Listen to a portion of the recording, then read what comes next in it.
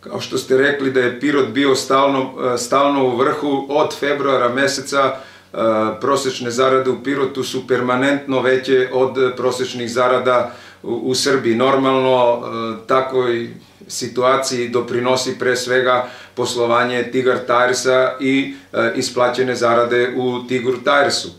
Prosečna zarada za decembar mesec u Srbiji je 53.456 dinara i u odnosu na novembar mesec povećana je za 16,8%. Pirot je nešto niži u odnosu na decembarsku zaradu u, u Srbiji i iznosi prosečna zarada 51.492 dinara i rast je 2,1% i zaostajemo za prosečnom zaradom u decembru mesecu za 3,6%.